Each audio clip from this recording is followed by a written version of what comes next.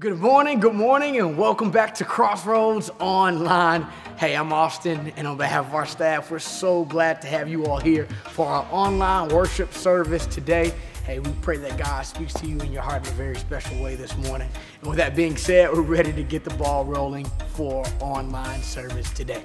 First things first, each and every Sunday, we encourage you all to share this video with someone you know or someone you don't know to give them a chance to be a part of our worship experience today. And look, that simply means you've taken out your cell phone and maybe you're texting someone you work with, maybe you're texting a business partner, maybe you're texting a texting a family friend, but invite, invite right now. And all you have to do is cut, uh, click on and copy the YouTube URL link for this video and simply press send in a text message or a social media message today. And you can do either one of those two, but we're encouraging you right now to share this video. Also, if you're online, go ahead and like the video and make sure you're subscribed so each and every Sunday you'll get a notification when we're streaming online. Go ahead and share and take a moment to share with your friends and family members today's video. Also, we're going to move right along to our question of the day. That's right, our question of the day is back in full effect, and it's really simple for today. The question is What is your favorite springtime activity? Right, the weather is starting to change. Now, we do see a little bit of rain this time, so it's not fully warm. However, we do see a difference in this part of the year than as opposed to the cold winter months. So, what do you enjoy doing?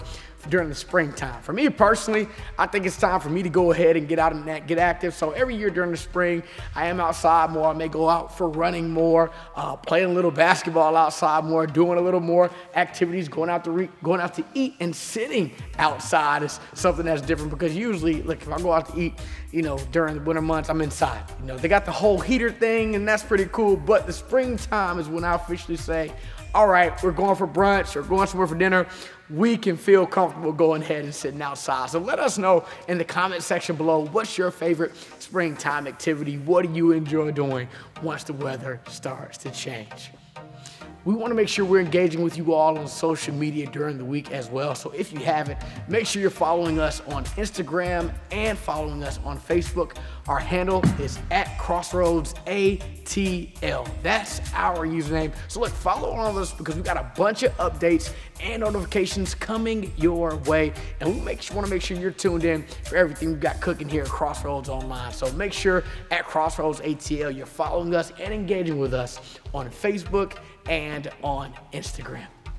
All right, Crossroads fam, final call for you right now. Go ahead and get your last second coffee. Maybe it's your tea, maybe it's your bowl of oatmeal that you made. Also, make sure you got your pen and paper ready for when PD continues with the sermon series.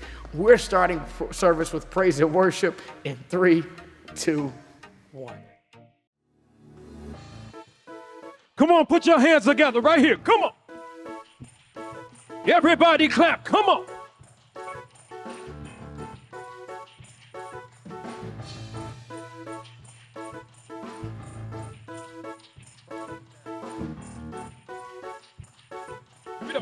Give it up for the most holy. Give it up for the most holy. Give it up for His Majesty Almighty. For the one. For the one who is King of Kings. For the one who is everything, all we need. All of your people saying yes. All of your people, we give you the glory. All of your people, we give you the glory. Come on. All of your people, we give you the glory, Lord. Come on, say it with me. All of your people, all of your people, we give you the glory. All of your people, we give you the glory. All of your people, we give you the glory, Lord. Come on, that's a good place to praise Him. Give it up. Put your hands together. Come on. Lift it up. Lift it up to the name of them. Lift it up to the one we trust. Marvelous. To the one. To the one who is everywhere. And he's answering every prayer. Always there. Come on, say all of your people. All of your people, we give you the come on. All of your people, we give you the glory. All of your people, we give you the glory, Lord. Come on, sing it to your king. Say, all of your people, your people, we give you the the all of your people, we give you the glory. All of your people, we give you the. Come on, stay right there. Say, all of your people, say, all of your people, we give you the glory. All of your people, we give you the glory. All of your people, we give you the glory, Lord. Somebody give him glory. All of your people, all of your people, we give you the glory. All of your people, we give you the glory. All of your people, we give you the glory. Lord. Oh, hallelujah. Oh, hallelujah. Oh, hallelujah. There's nobody like. Oh, hallelujah. There's nobody like. Oh, hallelujah. There's nobody like you, Lord. Come on, he's the King of Kings. All of you, there's nobody like. Oh, hallelujah. There's nobody like. Oh, hallelujah. There's nobody like you. Come on, do that again. Say, oh, hallelujah. Oh, hallelujah. What's the highest praise? Oh, hallelujah. There's nobody like. Oh, hallelujah. There's nobody like you, Lord. Come on, one more time. Oh, hallelujah. Oh, hallelujah. There's nobody like. Oh, hallelujah. Let me hear you, Crossroads. Oh, hallelujah. There's nobody like you, Lord. All glory, all glory, all glory to you, Lord. Say it with me if you know it. All glory. Let me hear you. All glory. Say all the glory. All glory is to you, Lord. Come on, say it again. All the glory. All glory. All glory. All glory to you. One more again, say all glory. All glory. All glory. Say, all of your people, all of your people, we give you the glory. All of your people, we give you the glory. All of your people, we give you the glory, Lord. Somebody give him glory right there. All of your people, we give you the glory. All of your people, we give you the glory. All of your people, we give you the Glory, Lord. Oh, hallelujah. Oh, hallelujah. Oh, hallelujah. There's nobody like. Oh, hallelujah. There's nobody like. Oh, hallelujah. There's nobody like Lord. Oh, oh, hallelujah. There's nobody like. Oh, hallelujah. There's nobody like. Oh, hallelujah. There's nobody like. Lord. Somebody break out into praise right there. Come on, do it for real. God, we lift you up.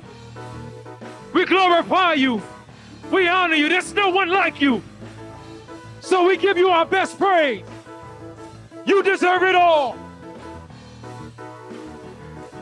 Oh, hallelujah. Oh, hallelujah. Oh, hallelujah. There's nobody like. Come on. Oh, hallelujah. There's nobody like. Oh, hallelujah. There's nobody like you, Lord. Come on, say it like you believe it. Oh, oh, hallelujah. There's nobody like. Oh, hallelujah. There's nobody like.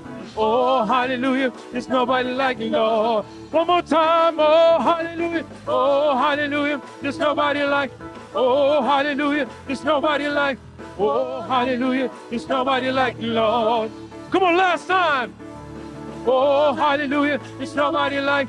Oh, hallelujah. There's nobody like. Oh, hallelujah. There's Nobody like you, Lord. Somebody praise him for the victory right now. God, we give you glory. God, you're so great. Come on, somebody else praise him for the victory. Victory in your circumstance. Victory in your situation.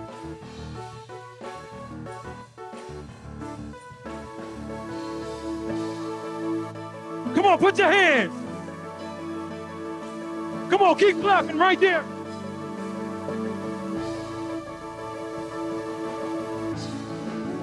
Oh, oh, oh, oh, oh, Come on, that's what praise sounds like. Oh, oh, oh, oh, oh. Come on, that's simple. You say it with it. Say, oh, oh, oh. Everybody say it. Oh, oh, oh.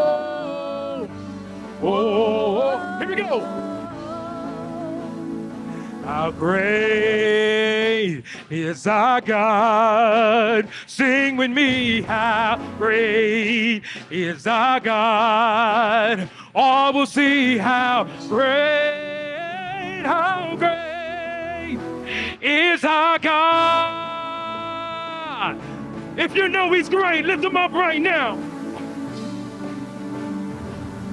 Everybody say, say, how great, how great is our God. Sing with me, how great is our God. All will see how great, how great is our God. Somebody give him praise. Come on, we gotta sing that one more time. Let me hear you say it. Say, how great, how great. Come on, lift your voice to say. Come on, you gotta say it like you mean it. All will see, all will see how great, how great is our God, is our God. Come on, lift it up for your God right now. Here we go.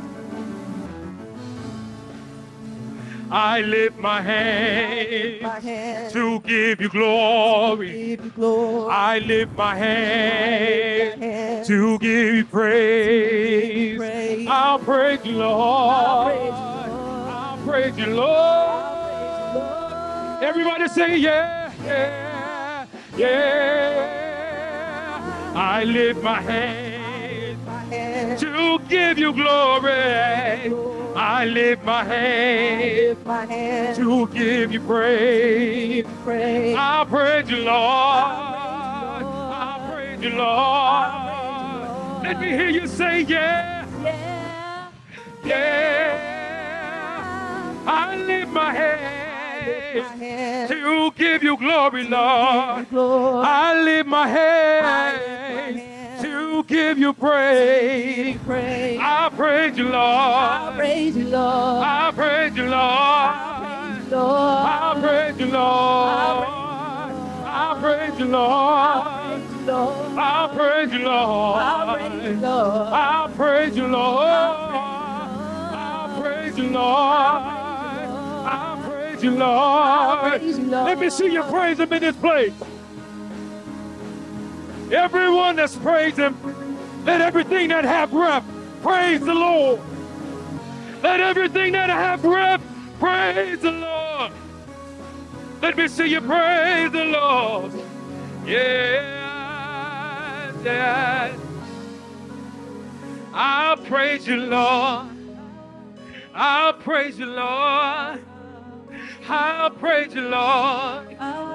I'll praise you, Lord. Regardless of what it looks like, I'll praise you, Lord. I'll praise you, Lord.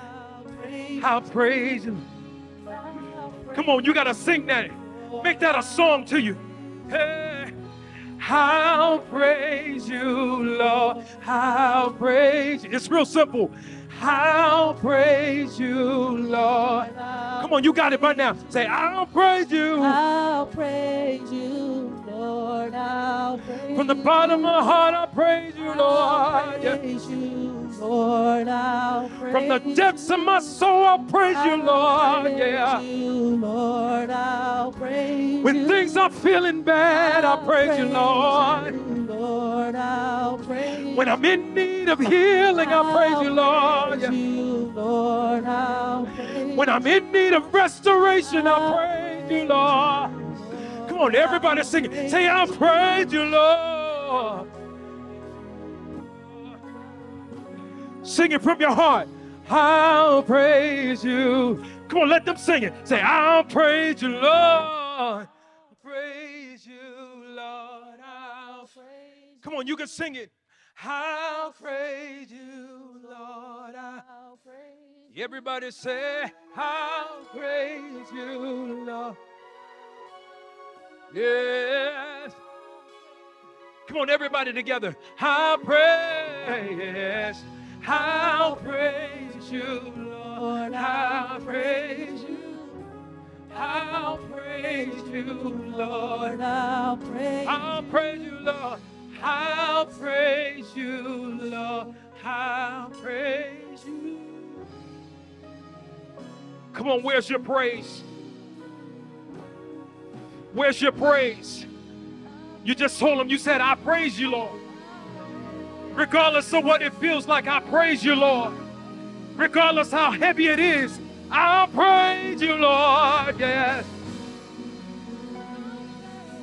Hey, I praise you, Lord. The weapons of our warfare are not carnal, but they're mighty through God. To the pulling down of strongholds and the casting down the imaginations. I'll praise you, Lord.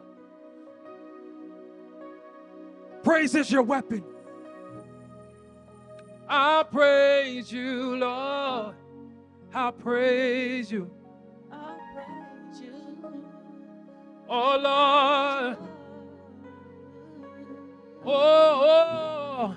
We praise you, Lord. We praise you. Come on, do it. We praise you, Lord. Come on, Crossroads, give him a real praise. We praise you, Lord, we praise you. one more time. Praise you, Lord. We praise you. So, Holy Spirit, you are welcome here. Come flood this place and fill the atmosphere. Your glory, God, is what our hearts long for. To be overcome by your presence, Lord. Who wants to be overcome by his presence? Come on, surrender right now. Yeah, yeah, here we go. There's nothing worth more that could ever come close. That could ever come. Close. Nothing can compare. Nothing can compare. You're our living hope. You're our living hope. Say your presence, Lord. Your presence, Lord. Say I've tasted and seen. I've tasted and seen of the sweetest of love. of the sweetest of love. Where my heart becomes free. Where my heart becomes free. And my shame and my shame is undone. Come on, there is therefore no condemnation. Your presence, Lord. Come on, you can come to his presence boldly. So, Holy Spirit said, Holy Spirit, you are well. God, we welcome you here. Come flood this place and feel the atmosphere. Come on, surrender. Your glory, God, is what. Our hearts long Let me hear you say it. To be overcome by your presence. Come on, say it again. Holy Spirit, say, Holy Spirit, you are welcome. Come flood this place and Feel the atmosphere. your glory Your glory, God, is what our hearts long to be overcome. be overcome. Come on, stay right there. Holy Spirit, Holy Spirit, Holy Spirit, You are welcome. God, you are welcome here. Come flood. this place. Have your way in this place, Lord. Your glory, God, That is what our heart longs to be over. Come on. Holy Spirit, Holy Spirit, say, Holy Spirit, you are welcome here.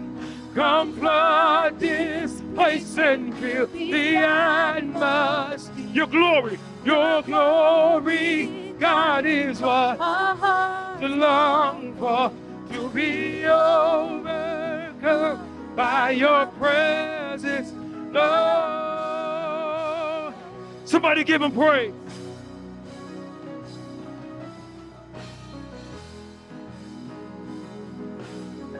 Somebody give him a real surrender. We surrender to your presence, oh God, yeah. Your presence is here, yeah. Come on, worship again. Let me hear you worship. Come on, release your sound. Release your worship. Release your praise. Hallelujah, yeah.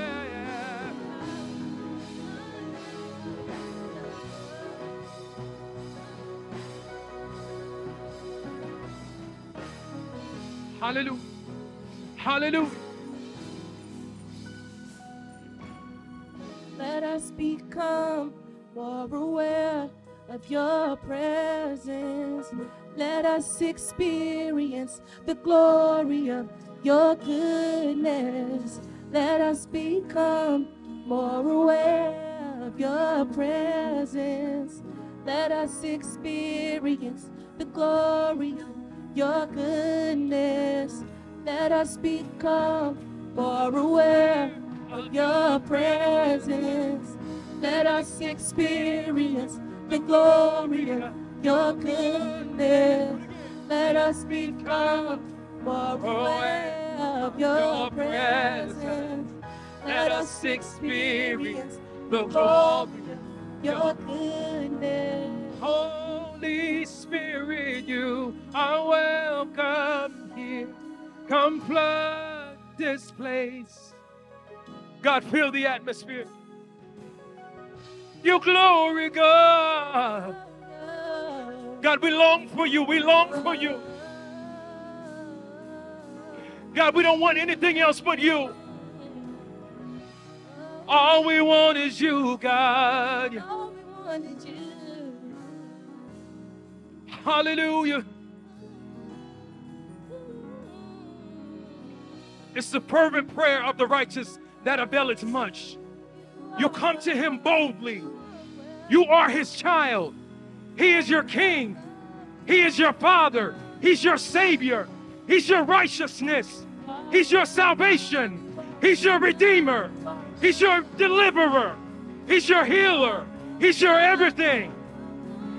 So, Holy Spirit, you are welcome. Say it with us. Come flood this place.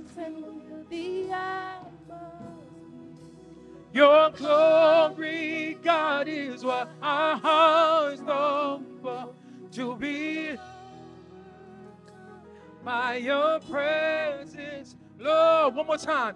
Holy Spirit, you. are welcome. Come on, sing it from your heart.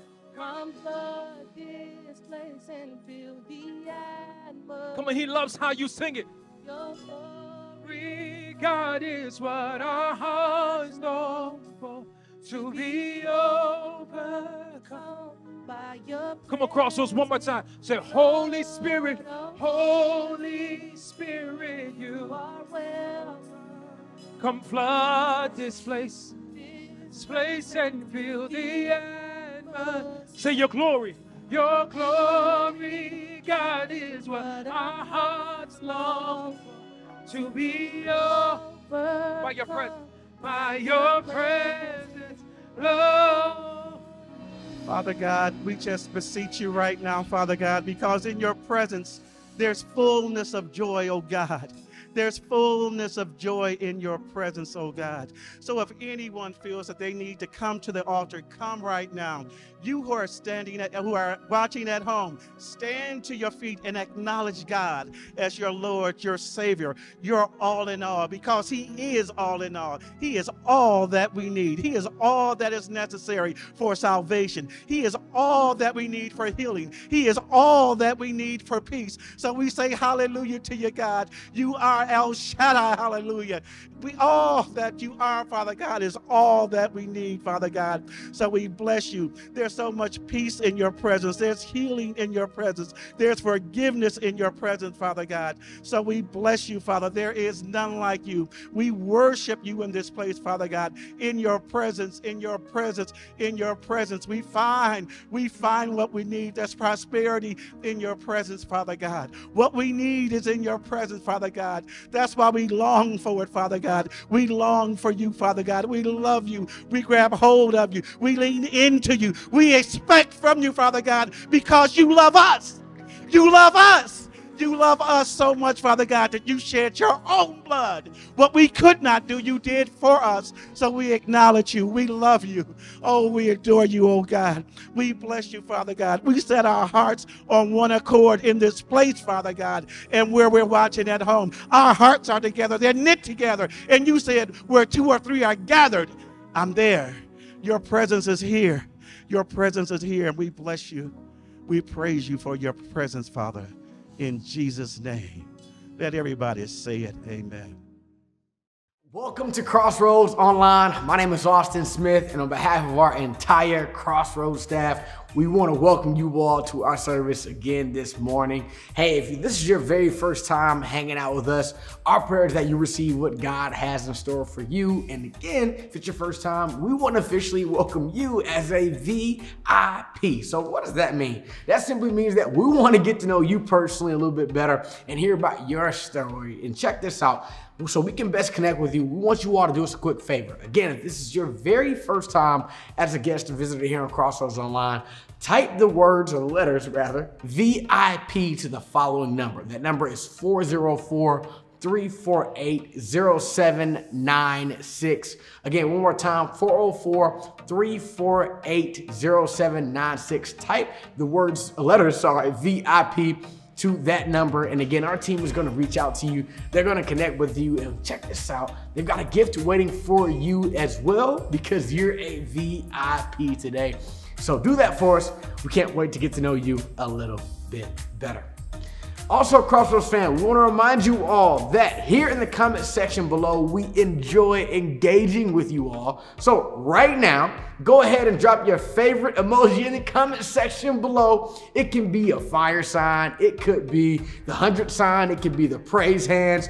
Drop your favorite emoji. Let me see a bunch of them this morning. And also, take a quick second to greet someone you know or you may not know in the comment section as well. You can at their name and then throw a peace sign, or at their name and throw a fist sign. Whoever you see in the comment section this morning commenting along with you, say what's up to them. And don't forget, drop plenty of your favorite emojis. I can't wait to see what you all decide to use this morning.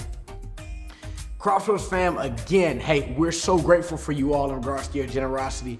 You all continue to make an impact here with our ministry, and we see where your hearts are. We see how you're so faithful. And look, we're grateful for you because, again, you all help us continue to do the mission of God here at Crossroads Church. So here we are again at the service, and we want to give you all an opportunity to give if it's on your heart to do so this morning. And we've got two easy methods for you today. The very first one is via Cash App. So if you got Cash App on your smartphone, all you have to do is open it, type in that amount that's on your heart to give, and then when the to section comes up, just input our username. That's dollar sign at Crossroads ATL. From there, you'll have us and you'll be good to go. And then the for section, you can put if it's for your tithes or for your offerings. Now, if you don't have Cash App installed on your phone, no worries, because we do have a giving feature on our church website. So you can head on over to crossroadsatl.com forward slash give. Again, that's crossroadsatl.com forward slash give. When you get there, there will be some instructions that are very easy for you to do so you can submit your giving online. So two methods for you, Crossroads fam, in regards to giving today. All right, as you all are finishing up your giving, we're about to swing it right back to praise and worship. Good morning, everybody. What's up? This is Pastor Darren. I'm coming to you from Crossroads Church. This is our online edition of Crossroads Online. Hey, thank you for joining our service this morning. Wherever you are, thank you for attending. I hope you got the whole family with you, man. I'm grateful that you're here and that you're attending today. Now, listen, next week we'll be in person. Man, it's going to be awesome. All right. So, again, thank you for being here this morning. We started a new teaching series last week. It's called Faith for That. Today we're talking about faith to destroy mental strongholds. Let's pray. Father, thank you for allowing us to be here, for your goodness toward us, your grace toward us. You're so kind and awesome. You're beyond our ability to understand, but you you you you you uh, introduce yourself to us, but then you pattern do patterns and just things you do to teach us more about you. So we're grateful. Thank you for this moment. Open our eyes, our ears, our understanding that we might be doers of the word, not just hearers. We thank you in Jesus' name. Come on, everybody say, Amen. All right, well, listen. Again, we're talking about faith to destroy mental strongholds. A couple weeks ago, we went back to San Antonio. Uh, went back to San Antonio to our home church to teach. And prior to us leaving, Leslie was looking for some clothes that she wanted to wear. You know, lady has clothes in storages and all that type of stuff. Me and we ain't got that. At least I, I don't have all that. But anyway, she has it. But so we discovered as we were going through the store, went to the storage. Uh, uh, you know, it's up in our attic or right next to it. It's in our attic, okay? But we discovered we had squirrels. You know, they, they had crept their little way into our storage attic. And, and so we kind of had to figure out how to get these little dudes out. Because you know what? They're rodents man. They're little they i just think they're bigger version of rats but that's just my opinion you know what i mean? That's because i just had a bad experience. But so i called some help. I called some guys up and was talking to some people about trying to get them out of there. And i had a couple conversations and i had some very interesting conversations but but one of the things i learned about squirrels they're, they're kind of like bad relatives man they, they kind of find their way into your house and they come and go as they please and and they leave poop all over the place you, you, know what I mean? And so we had to deal with that. And, and so finally, after some investigation, uh, we found their entry point.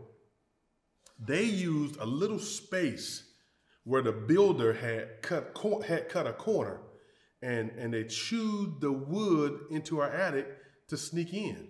And see, listen, let me show what I mean. So the builder, this is how he had, there was a piece of wood like this square. Well, this is supposed to fit just like that. Well, the builder left a little space he cut a corner. He left a little space just like this, and the, and the, and the squirrels chewed this part off and came on in. That's what they did. So listen, when, when we cut corners, it simply means we're cheating the process.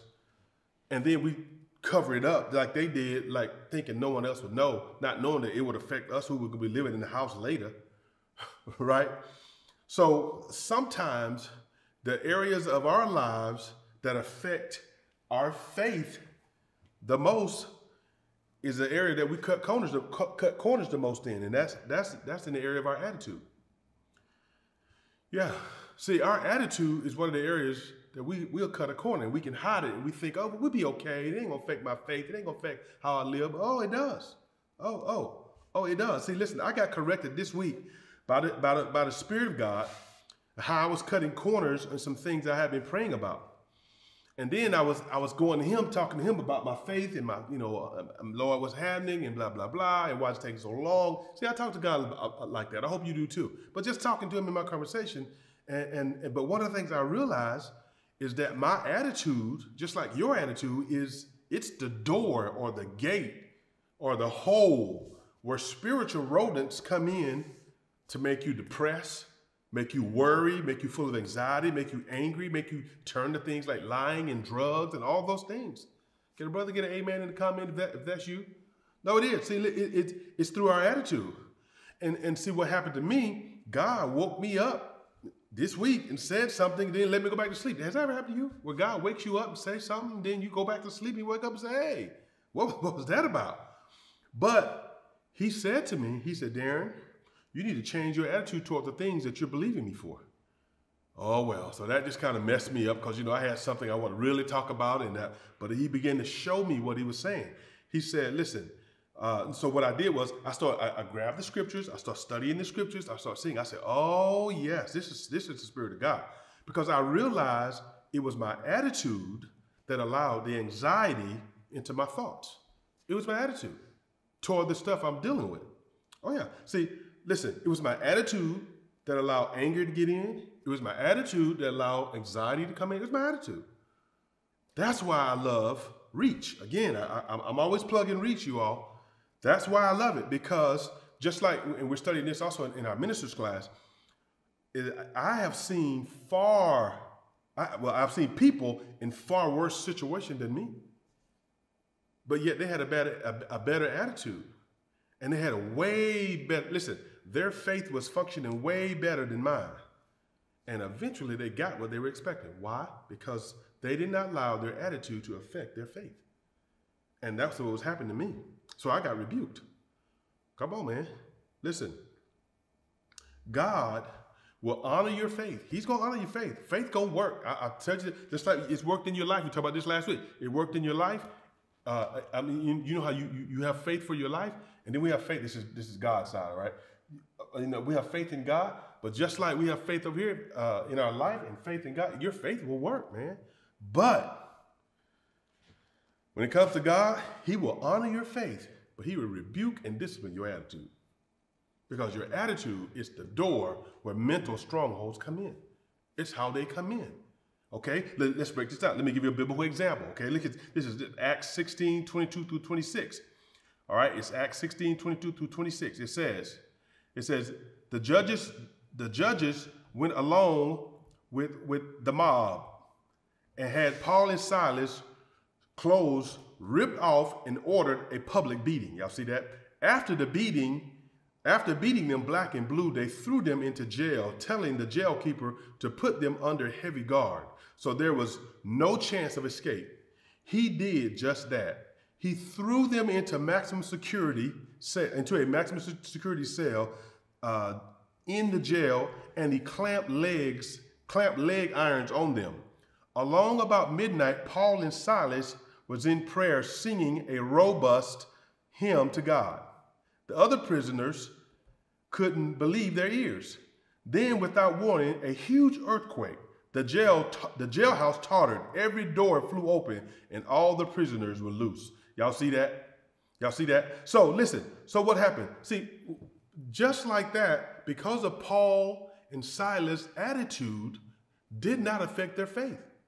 Oh my God. It was their attitude that caused that, listen, that, that helped their faith to cause them to rise above what they were dealing with. It was their attitude toward it. And see, that's where I was. God had to check me on that this week. Now, listen, because one thing we have to realize as the people of God is that there is a spiritual, invisible war going around, going uh, around us every day. That's why, I, you know, you probably heard these words say that. That's why, you know, if it ain't one thing, it's another. And you're absolutely right because we're fighting a spiritual fight. We're fighting it on, on different levels and on different in different places. We're fighting it at home. We're fighting it at work. We're fighting in relationship, fighting it at church, fighting in the family. That's why we have to battle thoughts of all of these fights that's going on in our mind. We have to battle, just like Paul and Silas. But Paul and Silas, they had amazing attitudes, man. They were beaten. Think about it now. They were beaten. You know, when you you strip of your clothes, you mean you're pretty much naked. You mean I don't know if they had underwear in them days. I don't know if they had fruit of loom. I don't know if they had those things like that. But but they were stripped and then beaten. And then I mean, I mean, come on, that's all that's the reason to have shame. But yet they still worship God. Because now listen, their faith worked. We we we, we saw the end result. God sent an earthquake. Their faith was working all along. But listen, it was their attitude that they kept in check that caused them to get the results they expected. What's hindering you from getting results you're, you're expecting? I can promise you, it's probably the, your attitude. But listen, let me let, let's let's define faith. Listen to this. Look at this. We, we talked about this last week. We, we established this, all right? That faith is the ability to believe something and then act on what you believe. So listen, our faith, just like we said, we have faith. We use it in life all the time. I told you I was going to have me some signs, didn't I? We use faith in life all the time. We use it for our job. We use it, you know, we get in our cars. We, we do different things. We use faith. But when it comes to faith in God, is the area where we struggle.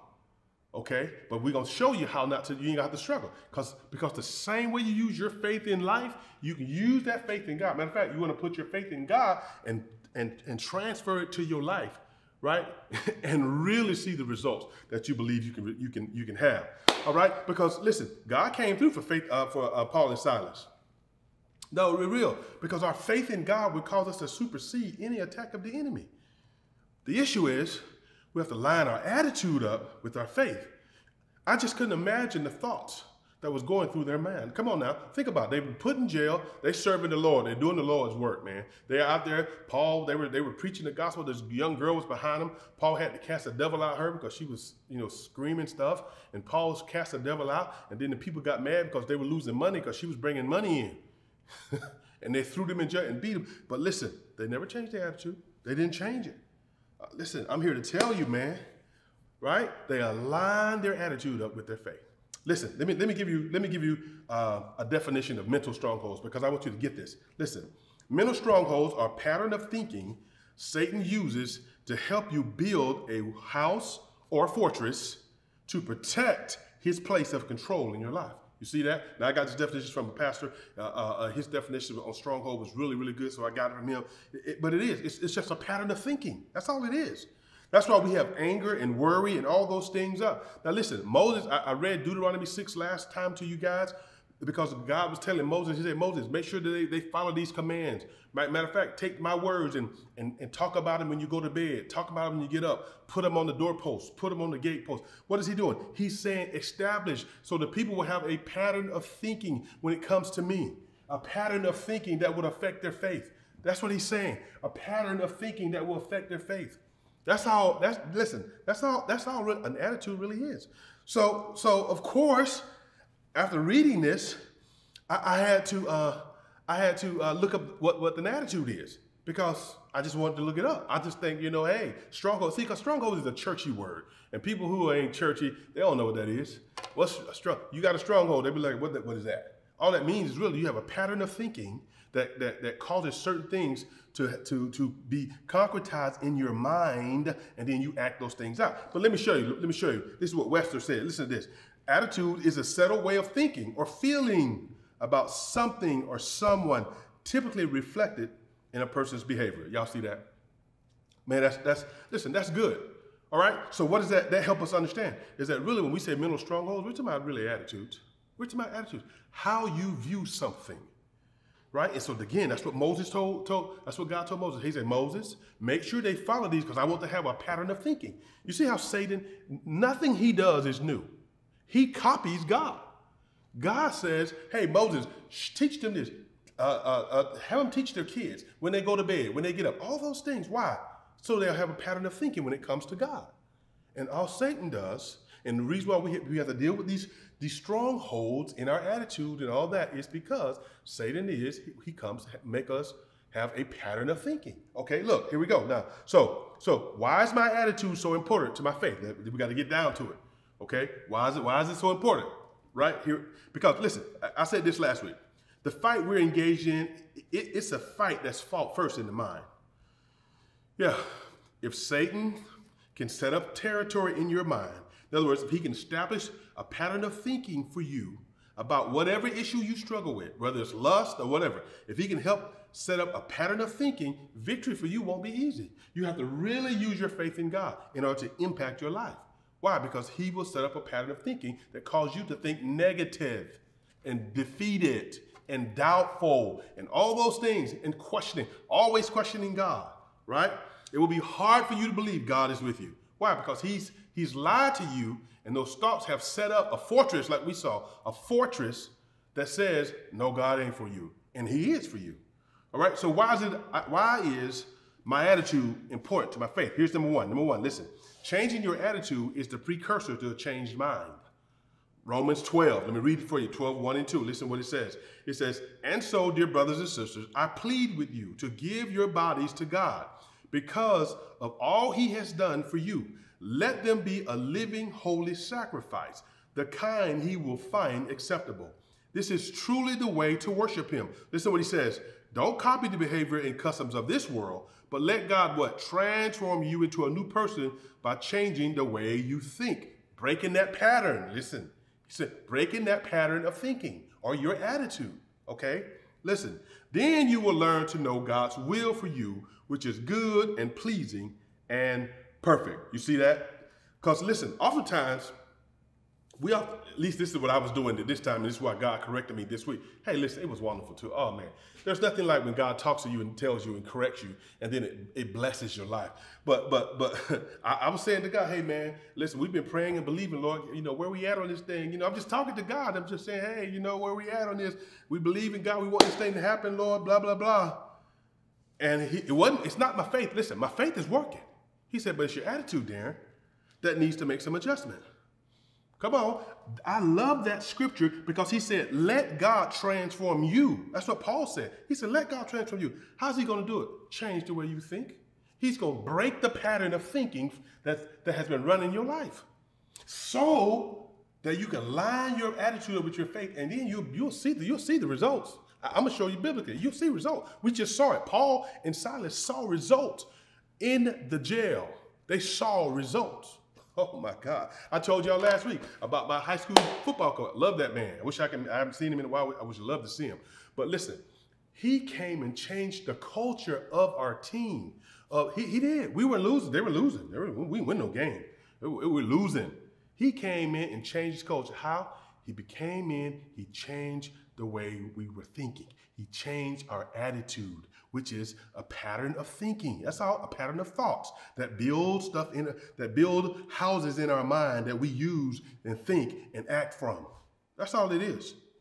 Okay? So he came in and Coach Tyre, he changed the way we were thinking. That's what he did. Had us, I said last week, he had us believing we can beat anybody. Little short guys, we weren't too big, but he had us believing. Why? Because he changed, he changed our minds. And he changed our minds because he changed our attitudes. And we begin to think different. Man, come on, listen. Why is my attitude so important to my faith? Number two, listen. Because you change your attitude, you will change your life. I'm sorry, your change you change your attitude and your life will change. I'm sorry. All right? So so change your attitude, your life will change. Come on, man. Listen, I am I am right here in Atlanta, Georgia today. You know why? Change attitude. Because I told y'all the story. I didn't want to go back to Texas, San Antonio, in particular, after I finished with my training in the military. I didn't want to go back to San Antonio. I, I begged God. I fasted. I prayed. I tried to swap assignments with other people. I tried, but it wouldn't work. Nobody wanted to go back to Texas. You know why? Because it was my assignment to go. But because when I got there, God, see, listen, God was teaching me this, and I didn't even know I was being taught this. It's, it's, years later, I'm realizing that, hey, this is how He did this with me. And so I'm teaching this to you all now because God taught me years ago.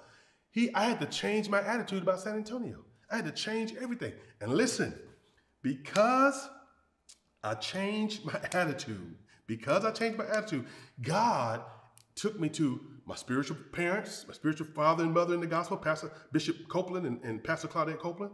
He, he connected to me with them. I went to college. I met my wife. I got great family relationships with people there. I got friends that's crazy. I mean, just we just love each other like no other. I got I got part. Listen, even my family members had moved to San Antonio because I was there. I had three kids. They were all born there. Now listen, how does all of that happen? Because God changed my attitude. He helped me. I had to change my attitude. Oh, listen, I'm, I'm going to read it again. This is Romans 12, 2. He says, Don't copy the behaviors of this world, but let God transform you into a new person by changing the way you think. Listen to what it says. Then you will learn to know God's will for you. You see that? So your learning process won't even start until your attitude change. You can't really learn nothing about faith until your attitude change because you won't believe it. Come on, people. So I had to learn it. God had to teach me. So this week, this is what Spirit God again. This week, Spirit God said to me, He said, "Listen, you you you you you stop being grateful." And, and I was like, "No, I'm, but I'm you know." But He was right because I I, I had me a system of being grateful. What I did every day, I had stopped. And I'm telling you something now. You're either grateful or you're something else. You're either grateful or you're. If you're not grateful, you're gonna be critical. You're gonna be worry wart you're to be angry or you're going to be depressed. Either one. It's one of them or some, some other thing you're going to be. Because we're, we're, we're, we're told and instructed by the scriptures, by, by, by the scriptures to, uh, to, be, to be grateful. And I was grateful, man. I was having a good time. And then I started getting over and, and my attitude shifted towards some things I'm believing God for. And all of a sudden it changed. I was all frustrated and you know, not sleeping and all that. And the Spirit of God said, hey. And now let me tell you something. Since I made the attitude change, I've been sleeping all through the night. One night I woke up, maybe, maybe, but I woke up and I went right back to sleep. God woke me up, back, back, back to sleep. Why? You know why? Because my attitude changed. My pattern of thinking changed. Come on, man. I, I hope y'all get some. I hope you get some out of this. But but but but again, you're either grateful or you're something else. And nothing speaks louder about what you believe than your attitude. Come on now. But what I love about that scripture, that's true. Nothing speaks louder what you believe than your attitude. But listen, what I love about that scripture, what it says, it says, then you will learn to know God's will for you, which is good, pleasant, pleasing, and perfect. right? So the will of God is known to us by the changing of our attitude. I didn't even know San Antonio was the will of God. I didn't know until I changed my attitude. I said, God, God sent me here. I listen. I said, God te- got up in, in church testifying, thanking God for sending me to San Antonio, for connecting me to the people. Why did that happen? That was the same dude a couple months ago, a year ago or so, who was begging God, crying up there in Wichita, Wichita Falls, Texas, saying, God, please don't send me back to that place. But the same dude now standing up in church saying, Praise the Lord, God sent me. Right? He guided my footsteps. You know how we get out holy. He guided my steps. Thank the Lord. All that. I did all of it. all because I changed my attitude. Come on, man. Because listen, when you when we when, when you close the door, you close that shortcut. Y'all remember you talk about the shortcut? When you close those shortcuts to demonic thoughts in your life, the enemy don't have place to build fortresses in your mind. But this is why people listen, this is why people die. They commit suicide that people get on drugs. Come on, man. People make bad decisions, commit adultery, all these type things. Why? Because they allow the enemy to to um, uh, just use these crazy thoughts to come into their mind. But he comes through your attitude. He comes through your attitude, how you're seeing what you're going through. Come on, man. I'm, I'm preaching good. You ain't have to say amen. Ah. So listen, let's, let, us let us talk about it. We're going to get into our lesson now. Uh, we're almost done. Praise the Lord. Listen. So, how do I stop cutting corners with my attitude? What do I do? What do I do? What do I do? Just like the squirrel. I told you the squirrel, they cut corners. Somebody, somebody who built my house, they're supposed to be like this, but they left that space and those squirrels came in. So our, our question today is how do we stop cutting corners with our attitudes? Because listen, your faith gonna work. I'm trying to tell you, your faith in God, if you take your faith in God and put it in your life, right? Your faith in God. I'm telling you, the things that you believe God for, God will, God will answer your prayers. He will do it. Right? But like as I said, as I said earlier, you can't stay in faith with a bad attitude. There's no way. No way. I, I was talking to God this week about something. I said, Lord, you know, so and so, I really want this done. And it just seemed like ain't nothing happened, Lord. I mean, uh, listen, I'm being honest with you. I walk by faith. I do. I quote the scriptures. I go over that. I'm tell you all that. I do. But there's some times I'll be looking at the circumstances like, whoo, this need to hurry up. I get impatient. I do. So I have to learn, man. Hey, God said to me, He said, it ain't about my, your faith. You know it's going to change, Darren. You know it's going to change. This is what He said. You know it's going to change. Yes, I do, Lord. I know. You. Yeah. He said, so then uh, you need to check your attitude.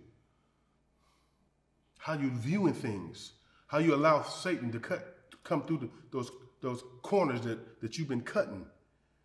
He comes in and builds fortresses in your mind. Come on, we got. Let's talk about how. So how do we stop cutting corners? How do we stop cutting corners with our attitude? Eh, eh, number one, listen. We must take our our walk with God seriously. Oh yeah. See, we, we got to take our walk with the Lord serious because sometimes we don't do that.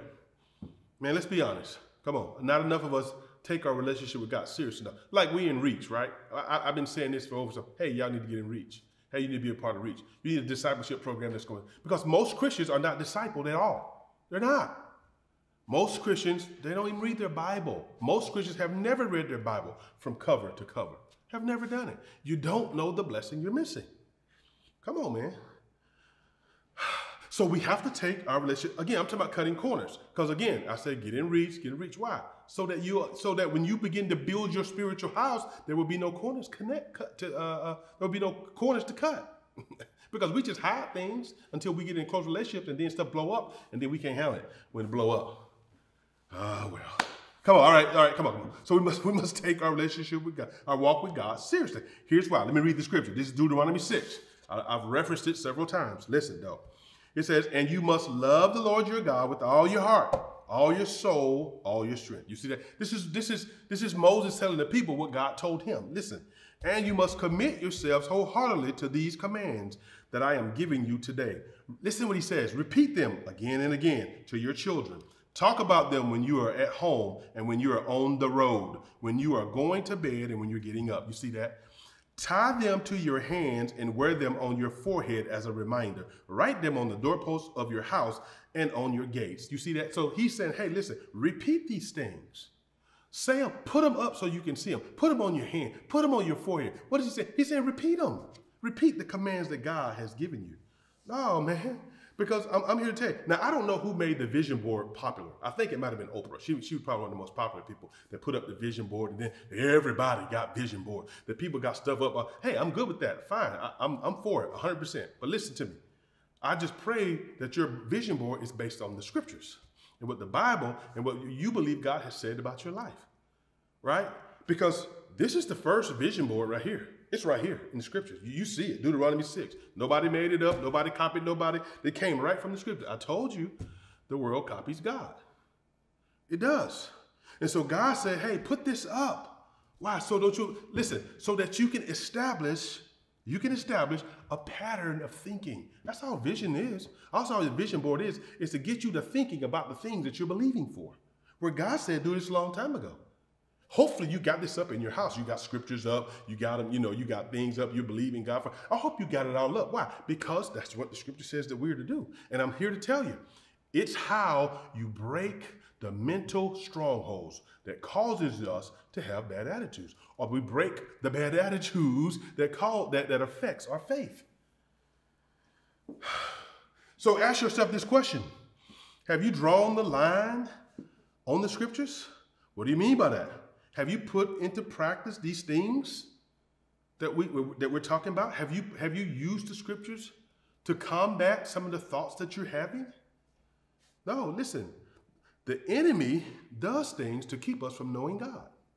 He battles our thoughts, our thinking, to keep us from knowing who God is. That's why you have to fight to come to prayer or be in prayer. You have to fight to read the scriptures. You have to fight to be in reach. Why? Because the enemy is attacking your thoughts and your mind. But you have to draw the line and say, hey, I'm going to believe the scriptures. And I'm going to I'm going to do exactly what the scriptures say. I'm going to put them up so I can see them. Come on, somebody. Oh, yeah. Now listen, all strongholds must be recognized and addressed. Oh, yes. They got to. So whatever thoughts you have. So let, let me give you an example. I have a friend uh, that would not get on an airplane. Still hasn't today. They've been married for many years. The wife would not get on an airplane. I had another friend, uh, decent people I've been knowing for many, many years. Uh, uh, well, another friend, she was so afraid she would not drive on the highway because she listened to the news and all that. So she all she did was drive on the side roads. Now that's crazy, but she did. That's all she did, drive on the side road. Her husband had to ride in the car with her in order for them to ride on the highways because she was afraid somebody was going to hit her.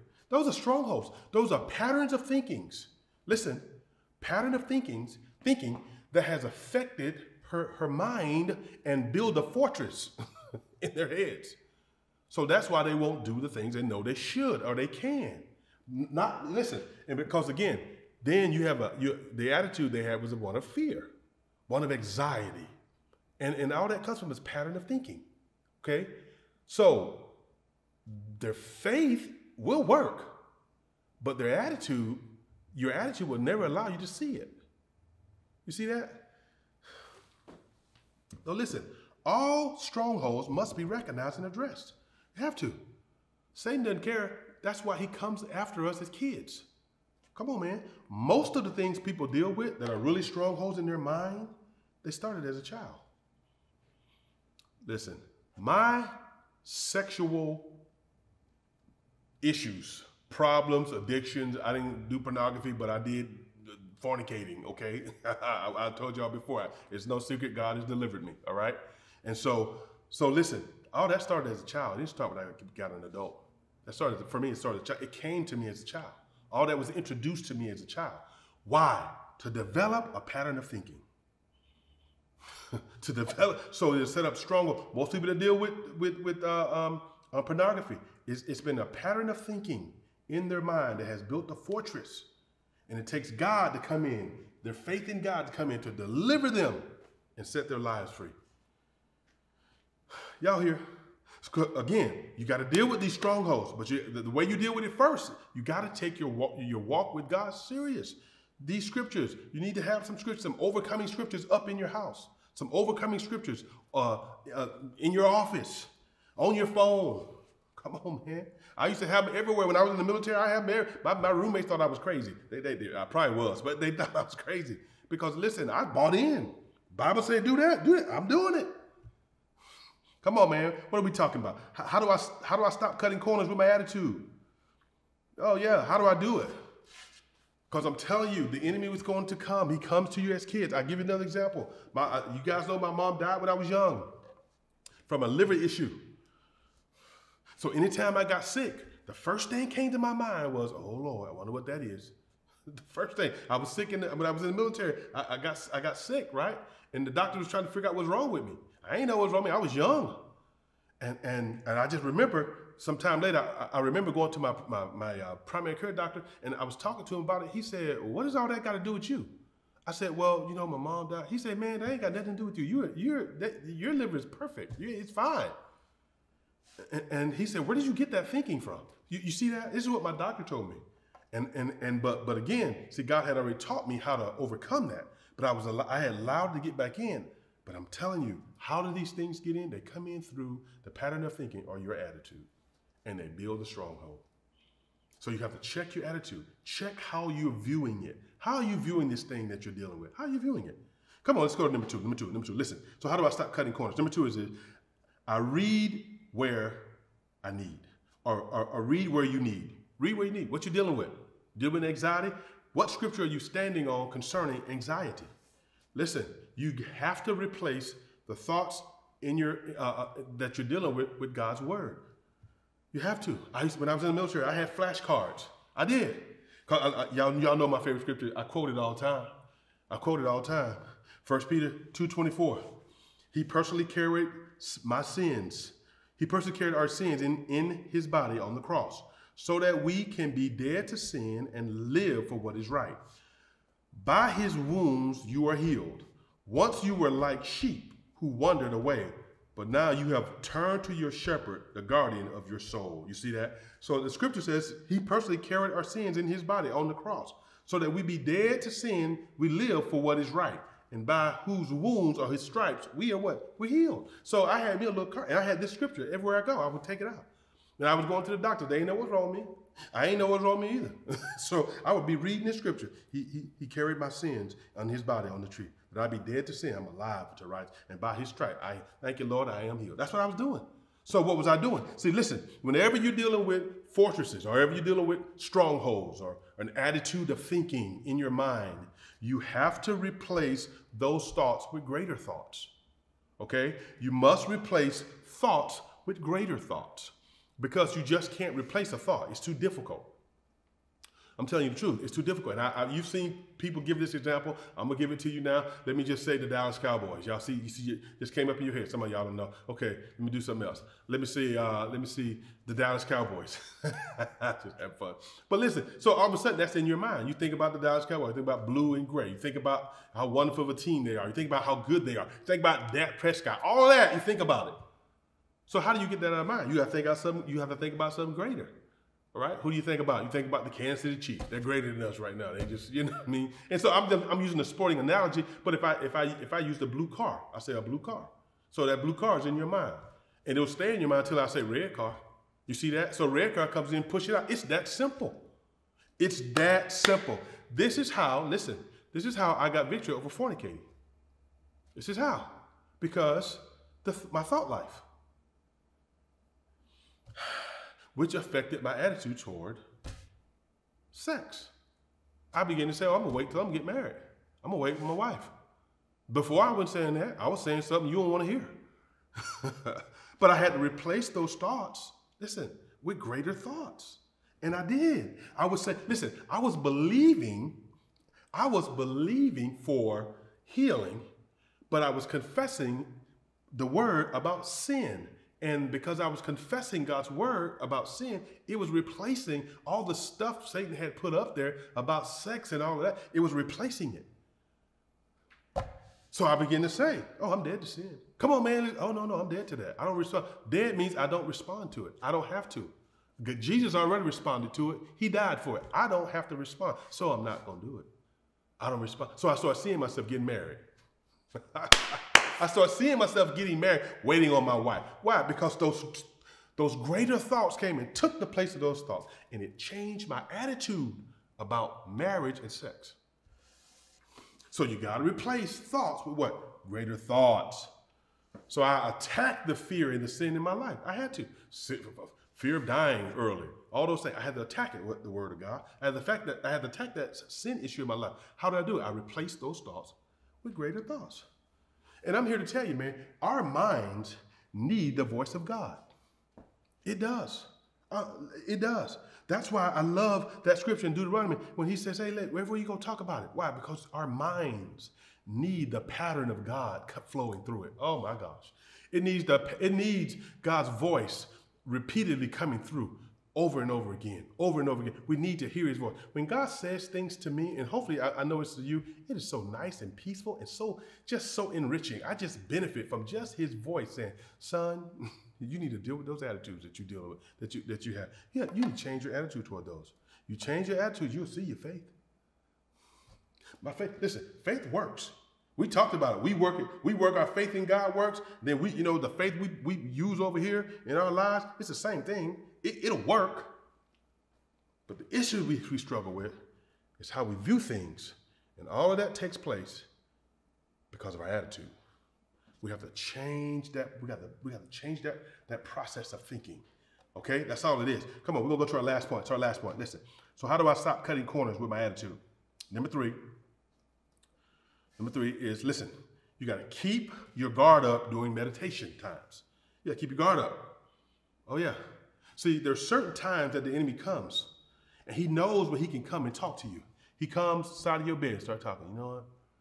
You remember that girl, boy, that she sure was fine. Oh my God. Did you see her? Ooh, Lord, you couldn't see her. And man, she, you seen him? Oh, he so you see them shoulders? Oh my God, that man. He got cute eyes, girl. He tall. Ooh. He knows when to come. But see, you got you got to stay on guard. And see, by using the, the scriptures and repeating them, re- replacing thoughts with greater thoughts, you keep your guard up when during meditation times. No, not really, because see, again, the enemy comes to build by repeating. He has nothing new. He's copying God. God established a pattern for us, but He said, repeat, repeat it, repeat it. so Satan comes and he says to us, repeat it. She's so fine. Repeat it. She's so fine. Repeat it. He's so, oh my God. Repeat it. Oh, oh, he is just, oh. And that's what we do. And all before we know it, we our, our thoughts go that way. Right? And then we develop these things where we have we have to, you know, repeat failure, repeat failure. That's how you know you got a stronghold. You just repeat failing stuff, repeat fail, repeat fail. I mean, that's what I was. I got, I got in a cycle of just couldn't, couldn't help it. Why? Because my attitude had not changed when it came to that issue of sexuality. Are y'all still here? So listen. So you got to stay guard during meditation time. When is meditation time? First, let me read the scripture. This is Psalms 1, 1 through 3. It says, Oh, the joys of those who do not follow the advice of the wicked, or stand around with sinners, or join in with mockers. But they delight in the law of the Lord, meditating on it day and night. They are like trees planted along the riverbank, bearing fruit in each season. Their, their leaves never wither and they prosper in all they do. You hear that? This is David. Now, David is a product of Moses' instruction. Deuteronomy 6, we just read it. He's a product. This is his version. Or in other words, listen, this is him paraphrasing that, that verse. This is what I believe. He's paraphrasing this, this, right? Because he's saying the same thing. He said, You meditate on it day and night. Uh, Moses said, Hey, when you get up in the morning, when you go to bed at night. So listen, we are most vulnerable at night and in the morning. Oh yeah, yeah, you are. You are most fun. Your thoughts, most of your thoughts come in the morning time and at night. You laying down to sleep, and what you listen. Unless you just dog tired, you just. Otherwise, you're thinking, and that's where them thoughts come in. Boom, boom, boom. That's why you get. That's why you know we get them late night calls, Netflix and chill calls. Why? Because in the middle, it's the night. You have to guard yourself from that. Oh, yeah.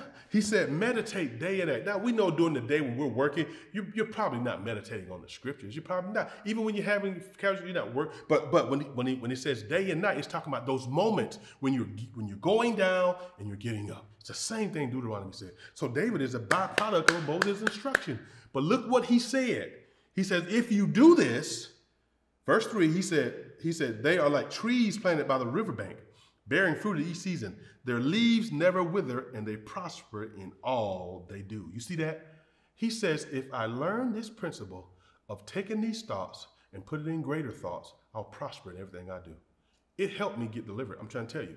They, they eventually they found out what was wrong with me and they were able to treat me and all those type things. But listen to me, people. David said, Hey, you really want some victory? You really want to overcome? Change your attitude, change your, your pattern of thinking toward that circumstance, and put God's thoughts in there and see won't it give you victory in everything you do. In everything you do, you will, right? So you will overcome in all you do. That's what he says. If you get this principle of replacing these thoughts, he said, all you do, you'll overcome. See, listen, with them squirrels, what I had to do, I had to go find their place where they was shortcutting. You know, they had cut, you know, they got in there and all that. I had to go and find it. I had to patch it up and put some wood over it and put some stuff in there and spray it down and all this to get them not come back. I did all that to get them clowns out of my house. I had to do all those things, right? But eventually, guess what? Didn't see them again. They ain't come back. You know why? Because I had closed their, their, the entryway into us. And that's what we do when we take God's word seriously now. We put we we we, we apply it to our lives. We we read it when we read what we need. Okay? We do those things. And then before you know it, you look up, you say, Oh my God, we got victory. We got the we got the victory over the squirrels. We got the victory. They ain't come back. Mama ain't come back. She ain't bring the kids back. None of them. They ain't come back. But the same principle apply to your life. These those things will go. All right. When they come back, you just hit them with the word. come on, man. You be listen. You you you need something from God. Whatever. What, what, grab your scripture. Stand on that scripture. Put it up over your house. Put it on your phone. Put it as a reminder on you. Why? So that you can break down the stronghold that's trying to gain entry into your life. All right. Did you receive something from that today? Listen, I, this was good word. I preached to myself today. I, you, you, guys are just in the room, but I'm gonna preach myself. Now to go back and you got to go back and listen to these first two because we're gonna build from here on out. Next week's gonna be really good. We're gonna be Mother's Day. We're gonna be here online at 10 o'clock. Don't miss it. Let's pray. Father, we thank you for, for allowing us to be here. You're so good. Thank you for this word. I pray that your people receive and, and that they're able to, to grab it. You taught me this many years ago. And I just I'm just teaching the people, but I'm corrected from this week, and I just pray for my brothers and sisters that it found them and then that they'll be willing doers of your word. That's my prayer in Jesus' name. Amen. Hey, so listen, if you're here today, you say, Pastor Darren, that's me. I got to change my attitude. Hey, listen, it doesn't matter where you are. Paul and Silas was in prison, prison with, with things clamped onto their legs, right? And they were in there worshiping and singing God. That's attitude. That's a pattern of thinking, right? That has come through their mind. What they believed about God and their faith in God did the rest. All right. So if that's you, you said, Pat, I need, I need to get my life right because I'm tripping and I really need to get right. Okay, listen, I need you to just pray this prayer. Say, Father, I come to you in Jesus' name. Forgive me of my sins. Come into my life. Be my Lord and my Savior. Teach me your ways, and I'll live for you all the days of my life. In Jesus' name. Hey, you prayed that prayer with all sincerity, you're now born again. God will teach you how to get rid of, because we, we have a variety of strongholds that come in our life. We all do have to fight them. We have to get them out. But he'll, he'll teach you through the scriptures how to get about how to be free and overcomer over these fortresses that the enemy bring our way. All right. Hey, if you're looking for a good church, we believe you're a good church. Be an e-partner with us. Continue to support our church through your giving. Uh, but we want to disciple you. We want to we want to show you what it means to be a disciple of Christ. If that's you, type partner in the in the comments. We'll send you information on what that's about. Hey, this is Pastor Darren. I love you guys. I'm checking out. I see you online. I see you in person next week. I love you. God bless. Peace out. Hey man, appreciate that word, Pastor D. Thank you for bringing us another edition of your sermon series this morning. And Crossroads fam, I hope you all took plenty of notes. Go back and review those notes during the week so that word will seep deeper into your heart. And also make sure you check out the sermon again later on this week on our Crossroads YouTube page or on our sermon engine online. Well, here at Crossroads Church, we make sure we make it a priority to help people take their next steps in their relationship with Jesus. And we all know that sometimes before you can take a next step, you got to take the very first step. And that very first step is making the decision to follow Jesus. It's making that decision to accept Him as our Lord and Savior in our lives. And hey, if that's you today, if it's on your heart and you're saying, hey, I really want to make that decision to follow Jesus, I want to take my very first step in making Him the Lord of my life, you can do so today. And we're so excited and eager to help you do so as well because it's the best step that any of us could ever take. So if that's you this morning and you're ready to take that first step, just in the comment section, type in the phrase life to Christ. Once you type that phrase in, that'll alert our staff that we need to make sure we reach out to you. We give you some love, we give you some encouragement, and we pass alongside some information for you to help you in your brand new journey. Because again, we're so excited for you and we want to help you know what it means to be loved by our Lord and Savior Jesus Christ. So, hey, again, if that's you, type in that phrase, like to Christ, in the comment section below, and we'll help you on your brand new journey. If you all need prayer this morning, our prayer team is ready to pray with you and for you. Look, we've got a section right now in the comment section where you can click on a link and submit a prayer request. Now, note that prayer request does not have to be just for you. It could be for a friend. It could be for a family member. It could be for a certain situation that you just need prayer for. So again, click on that link in the comment section if you do have a prayer request and our prayer team will be ready to pray with you and for you. Again, Crossroads fan, we're to give everyone a chance to give if you didn't have a chance to do so earlier in our serving and PDL. And we know in the Word, it always is it always is better to give than it is to receive. So it's on your heart to do so this morning. We're grateful for you, and you can do so with a few easy steps. If you got the Cash App application on your smartphone, all you simply have to do is open it type in the amount that's on your heart to give. And when you do so, type in our username, which will be dollar sign at crossroads ATL. And then underneath that in the for section, you can put whether it's for your tithes or just for your offerings. If you don't have Cash App, no worries. You can go using your smartphone or your laptop and visit our church website that has a giving feature. The link is www.crossroadsatl.com forward slash give. Again, that's crossroadsatl.com forward slash give. Once you get to that site, there will be some easy instructions so you can go ahead and fill out your giving that way. As you all are going ahead and giving again, I'll pray over our tithes and offerings this morning. Lord, we just ask that you will continue to use this tithes and offerings for the glory of your kingdom. Lord, we know that everything we've got comes from you, and we're grateful. We enjoy taking this moment in our service to just honor you, God, and show you how grateful we are and how appreciative we are because we know, again, that everything comes from you. We love you, Lord, and we're so thankful. It's in Jesus' name we all pray.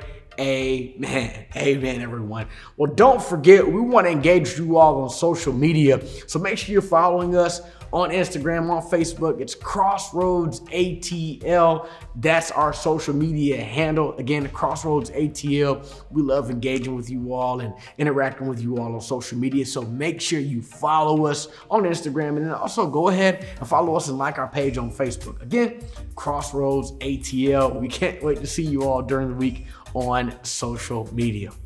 Well, everyone, that wraps up another amazing service here at Crossroads Online. Again, I'm Austin Smith signing off on behalf of our entire Crossroads team. We love you guys. We're praying for you, and we can't wait to see you next week for another edition here on Crossroads Online.